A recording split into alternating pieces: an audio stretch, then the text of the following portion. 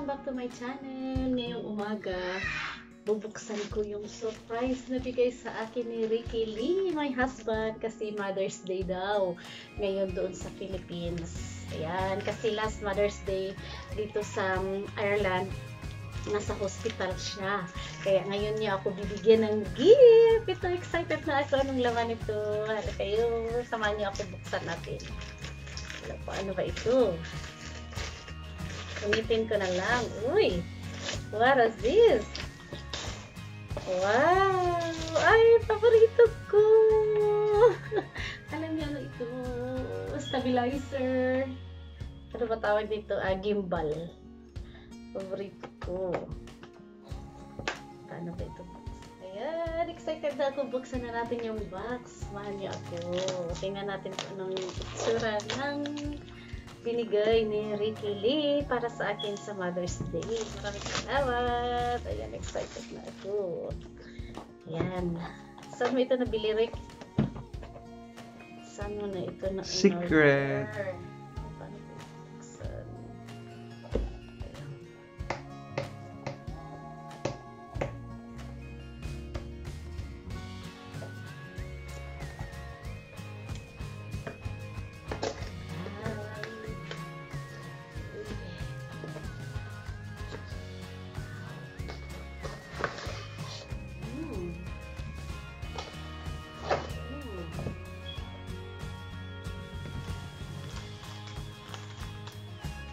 Tada!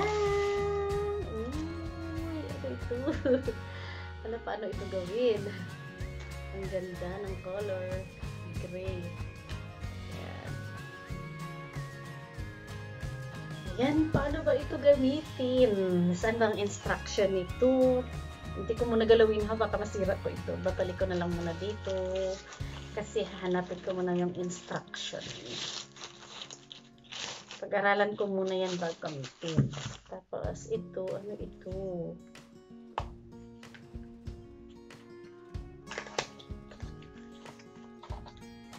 Ay, andito yung instruction. Ito yung wire. Ay, handle niya.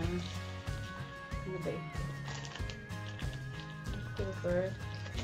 Ay, ano siya? Meron siyang bag. May lalagyan siya. Pwede ano. Ah, ito na siya yung instruction. Kaya pag-aralan muna natin bago gamitin.